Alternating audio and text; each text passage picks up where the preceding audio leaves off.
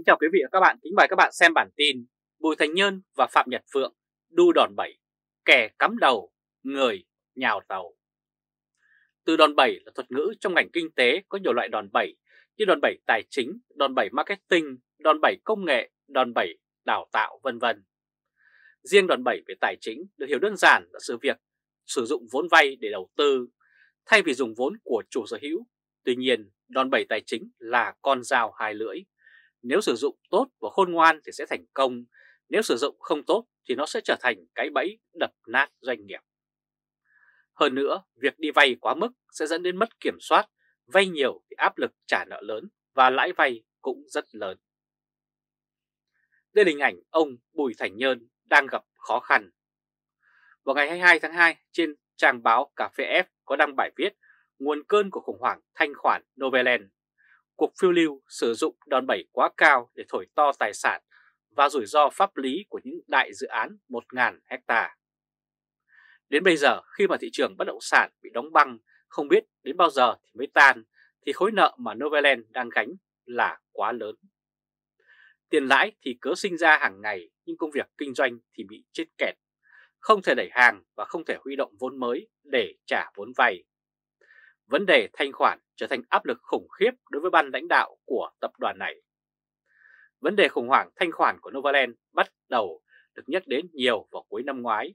Đỉnh điểm là khi cổ phiếu NVL giảm sàn hàng chục phiên liên tiếp, cho đến nay khoảng 5 tỷ đô la giá trị vốn hóa của công ty này đã bị thổi bay. Nó tương ứng với mức giảm 80%. Chuyên gia kinh tế cho rằng Novaland đã quá mạo hiểm khi dùng đòn bẩy tài chính quá cao để thổi cho quy mô doanh nghiệp lớn lên và giờ thì họ phải trả giá vì những gì họ đã làm. Bài báo cho biết hiện nay cứ 6 đồng tài sản thì hết 5 đồng tiền là từ nợ.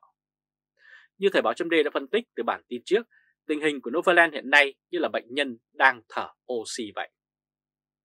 Có người ví von rằng ông Bùi Thành Nhơn dùng đòn bẩy quá lớn so với tiềm lực.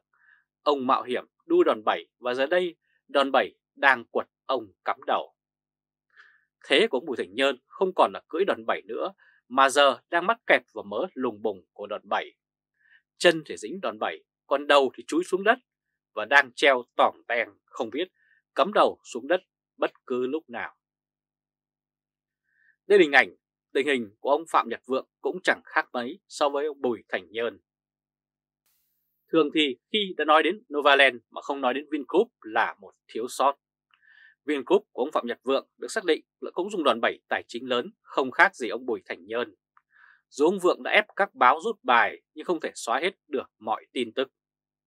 Tình hình tài chính của Vingroup là vốn vay lên đến 285% vốn chủ sở hữu. Mức đòn bẩy này được xem là rất cao. Với tình hình kinh doanh ảm đạm như hiện nay thì Phạm Nhật Vượng đang bị đòn bẩy này vật thực sự. Cho đến nay, nhiều người không hiểu với tốc độ lỗ hàng tỷ đô la mỗi quý, không biết ông Phạm Nhật Vượng xoay sở bằng cách nào đây. Thị trường trái phiếu giờ này như một cạm bẫy, chính quyền đang muốn đại phẫu thị trường chứng khoán mà không biết đại phẫu như thế nào.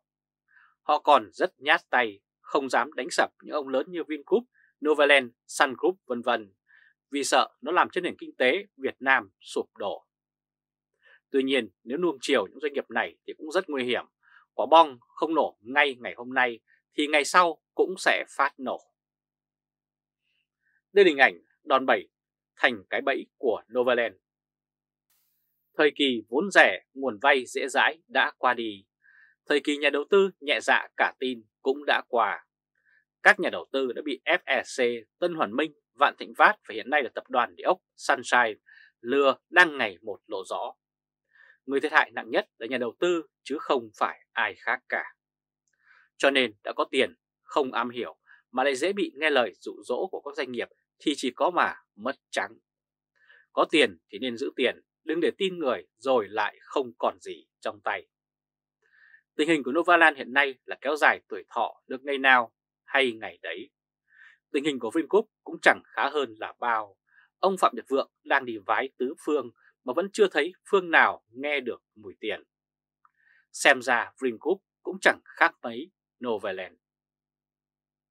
Quý vị và các bạn vừa theo dõi chương trình truyền hình trực tiếp của Lê Trung Khoa, Thời báo chấm với bản tin Bùi Thành Nhân và Phạm Nhật Vượng đu đòn bẩy, kẻ cắm đầu, người nhào đầu.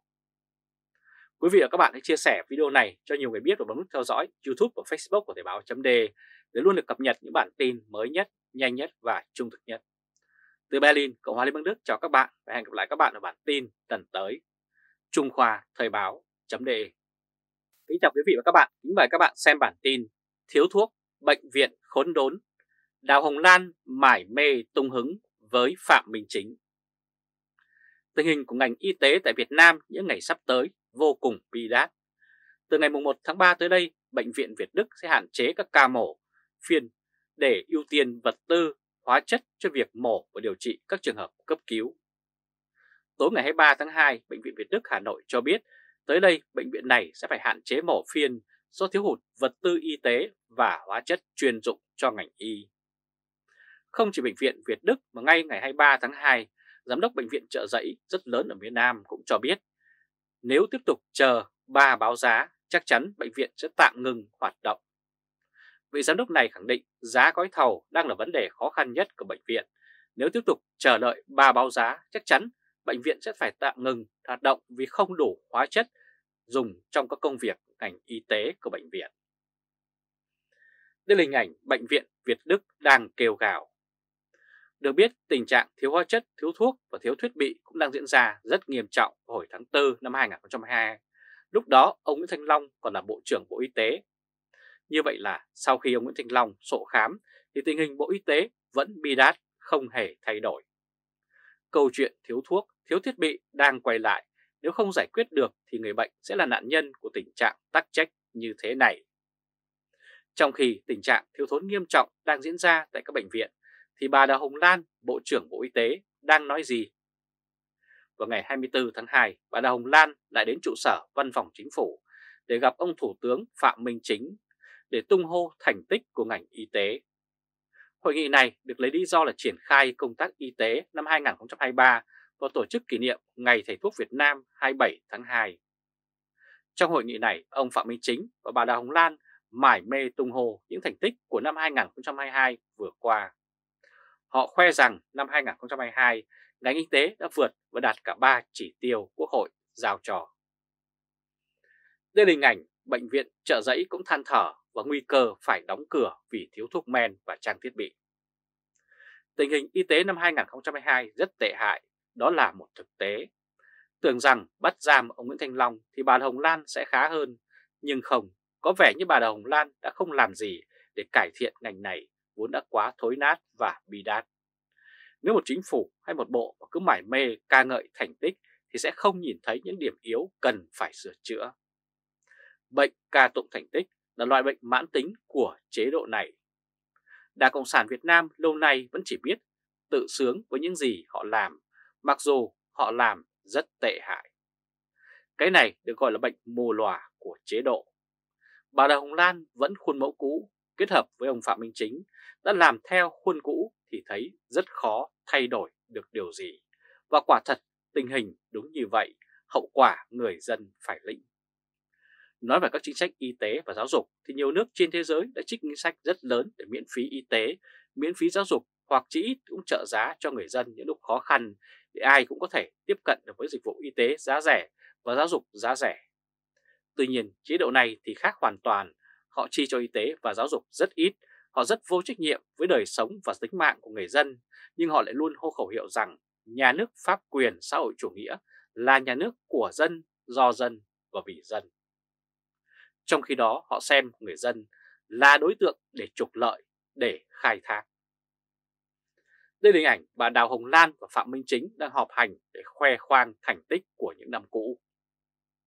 Một bệnh viện lớn như bệnh viện trợ giấy ở miền Nam mà lại thiếu thuốc men, thiếu hóa chất và thiếu trang thiết bị. Đây là bệnh viện tuyến cao, những ca bệnh và các tuyến dưới phải bó tay thì mới chuyển đến bệnh viện này. Có nghĩa là bệnh nhân đến với bệnh viện này để, để giành giật sự sống, nhưng bệnh viện thì đang lâm vào cảnh thiếu thốn nghiêm trọng. Nếu không giải quyết vấn đề này thật gấp thì đấy là một tội ác.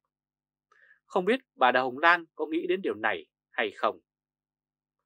Ngành y tế của Việt Nam rất bệ rạc, quan chức thì tranh nhau xả xẻo năng lực quản lý thì có hạn, nên đã nặn đủ ra mọi thứ thủ tục làm khó và kiếm tiền trên thân xác bệnh nhân.